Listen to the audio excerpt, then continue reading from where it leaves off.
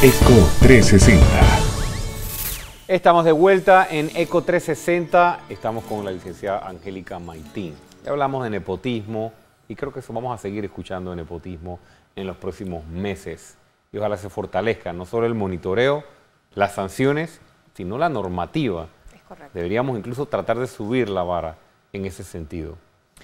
Comentábamos en el cambio comercial y lo hemos hecho con otros invitados, eh, Angélica, que si uno toma en cuenta todo lo que ha pasado en los últimos cinco años, sobre todo, pero hacia atrás, yo creo que no hay duda, y habiendo, habiendo estado eh, vinculada por tantos años a Transparencia Internacional, corrupción es un problema significativo de gran eh, impacto en Panamá.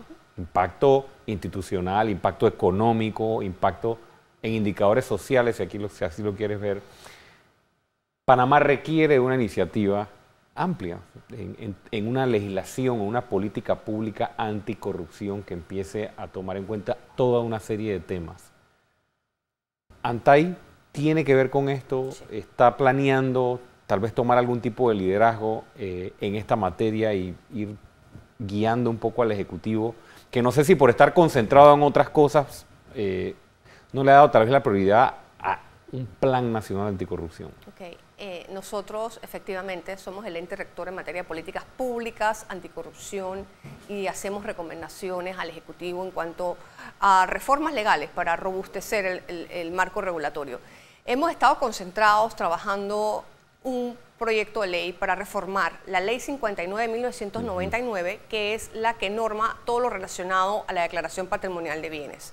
El delito que más se ha cometido en materia de corrupción ha sido el enriquecimiento injustificado. No hay funcionario que ganando 7 mil dólares, que menos descuento puede quedar en 5 mil 500 dólares, pueda haber amasado de forma legal las fortunas y haber obtenido las propiedades que nosotros hemos observado todos los días en los diarios y, y en, las tele- en los noticieros. ¿no? Eso, eso es imposible hacerlo. Y además de que esas personas no escondían ese dinero en su casa, como lo hacen los narcos en un caleto, no. Ese dinero estaba en el sistema bancario, abrían cuentas, compraban propiedades y, el sistema bancario se lo permitió. Entonces, para frenar el enriquecimiento injustificado, que en este país desafortunadamente la tasa de sanciones es bajísima, yo solo recuerdo un caso de una persona que incluso falleció, que fue condenada, el famoso caso de la señora de los durodólares. En ese caso, ella estaba apelando la sanción, solo un caso, recuerdo, de enriquecimiento justificado Sin embargo, sí- sancionado. Ahora entiendo, está el, bueno, Señor varios, Ferrufino, sí, varios eh, sí. exministros y demás, pero ese es el récord, es un récord bastante pobre y por ende siento que el talón de Aquiles de esa ley ha sido que no contemplaba la obligación de que la Contraloría General de la República pudiese auditar la declaración patrimonial de bienes al inicio, al final o cuando lo consideraba necesario. Es decir, que hasta ahora, corrígeme si me equivoco, la facultad que tiene por ley es de custodiar la declaración. Exacto, están en un archivo, en un archivador, nuestras declaraciones patrimoniales de bienes y solamente se pueden examinar o investigar si se presenta una denuncia. Entonces, esto- Modificaciones le darían facultades a la Contraloría. nosotros, esa es la propuesta, que la Contraloría General de la República pueda llevar a cabo, no de manera aleatoria, sino formalmente, al inicio y al final, auditoría de esas declaraciones patrimoniales de bienes, por un lado. Por el otro lado, ampliar la base de los funcionarios que están obligados a presentar esa declaración, porque hay muchos funcionarios que se quedaron por fuera, hay muchos agentes de manejo que no la están haciendo. Y en tercer lugar, Creo que no están los diputados. o no están los diputados, solamente está el presidente de la Asamblea y sin embargo manejaban recursos, recursos públicos.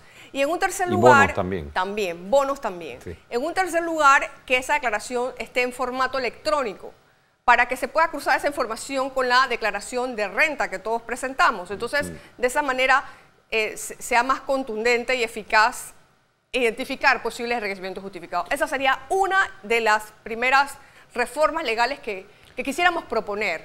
Sé que el tema es complejo para dedicarle un programa entero solo el tema de declaración patrimonial, pero una pregunta sobre el tema. La misma declaración. Eh, quienes somos abogados tal vez sabemos que eh, el documento donde tienes que escribir y declarar que tienes X cantidad de bienes, a mí me ha tocado ver algunas declaraciones y a veces la gente simplemente pone el nombre de una sociedad anónima o el nombre de una fundación de interés privado. Eh, o sea, ¿no crees que la misma declaración, el formato, tiene que ir más al fondo? Porque mira todo esto que ha pasado con el tema de los beneficiarios finales que nunca se sabe. Y también el tema de que sus parientes cercanos, su cónyuge, y también hacer una declaración de interés, que tampoco se hace.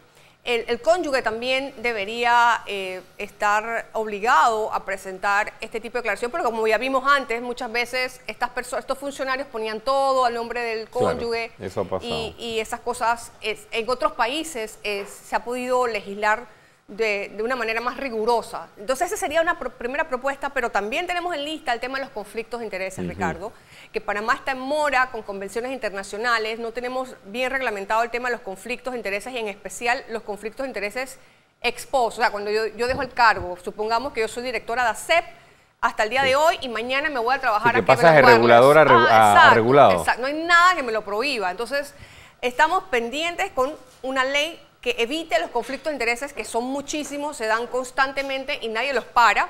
Es considerado una falta, pero no hay mecanismos suficientes para, para, identificarlos. También quisiésemos que hubiese una ley para proteger a las personas que denuncian los actos de corrupción. Las personas tienen temor de ir a, muchas veces a los despachos como el Ministerio Público a denunciar porque sienten temor que si es, tienen un superior jerárquico, ese pueda tomar represalias contra él y por eso muchas veces van donde los periodistas que les pueden dar reserva de la fuente. Entonces, estamos en mora con una legislación que proteja a las personas que denuncian actos de corrupción y también quisiésemos, la verdad es que mi sueño sería que en todas las instituciones hubiese lo que hay en la autoridad del canal, que es una oficina llamada inspector general. Un inspector general. Un inspector general. Como no tenemos los recursos para eso, al menos desde antes, desde que llegué, le solicité a las 96 instituciones del Estado que designaran a un oficial de ética, o sea, un personal de ellos puede ser el de recursos humanos, un abogado. dentro de la engranaje que, ya existe. No es personal mío, ni que son los he nombrado yo. En cada institución, el personal que ellos tenían, que nombraran a un oficial de ética que se encargue de velar exacto por el cumplimiento del código de ética, que pueda recibir denuncias y que la propia institución pueda hacer su investigación administrativa. Y también solicitamos lo mismo en el área de información. Hay un oficial de información en cada institución y un oficial de ética en cada institución, que al menos eh, es, un, es una primera piedra, por decirlo de alguna manera, un primer paso para lo que yo considero que es la medida más eficaz para, para controlar este flagelo, que es que todas las... Yo creo que el combate contra la corrupción debe descentralizarse no puede estar solamente a manos de ANTAI, que somos menos de 50 funcionarios y que tenemos que a nivel nacional hay que, hacer hay que este meter el gen este de la transparencia que descentralizarlo y que sea un, programa permanente y preventivo. Yo creo mucho, al igual que en las enfermedades se trabaja la prevención con las vacunas para impedir que te enfermes, pues yo creo lo mismo que el combate contra la corrupción es más barato, el combate contra la corrupción es mejor prevenirlo. Entonces, hacia allá estamos trabajando. Estamos con Angélica Maitín, todavía nos queda un bloque completo, pero es tiempo de irnos con Entérate y Carolina Brit.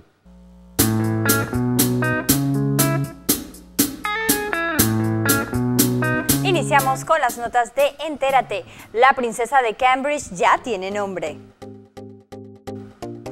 Charlotte Elizabeth Diana es el nombre con el que será llamada la hija menor de William y Kate, nacida el pasado sábado. El nombre es un homenaje a su abuela y su bisabuela. La nueva princesa y cuarta en la línea de sucesión al trono del Reino Unido será conocida como Su Alteza Real Princesa Charlotte de Cambridge. La noticia fue anunciada a través de una breve nota emitida por el Palacio de Kingston, residencia oficial de los Duques de Londres.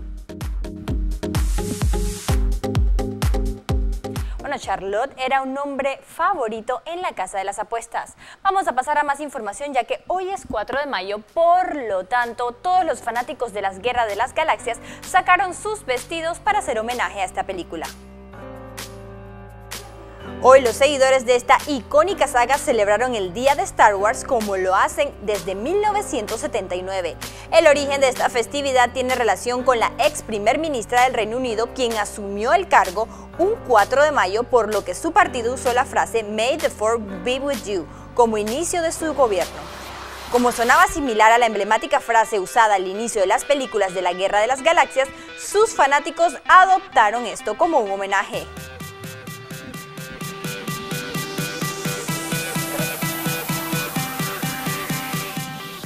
Bueno, ya lo saben, vamos a pasar a más información porque Facebook y Lego se unen para darle una iniciativa a todos esos pequeñitos y crear sus propios croquis-wongis. De acuerdo a la campaña de Lego publicada en Facebook, un Croquis-Wongi es un personaje imaginario en el que animan a los más pequeños a expresar toda su creatividad. En el clip se observa a los niños divirtiéndose y construyendo todo tipo de objetos. Como la imaginación de cada niño recorre su propio camino, jamás habrá dos Croquis-Wongis iguales. Se espera que Lego publique próximamente los videos que muestran las diferentes creaciones.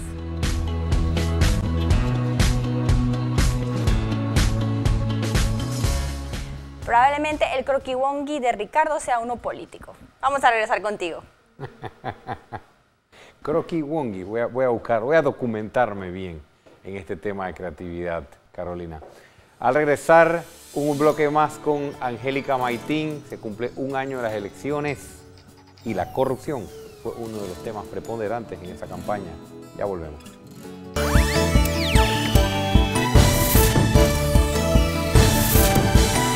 ECO 360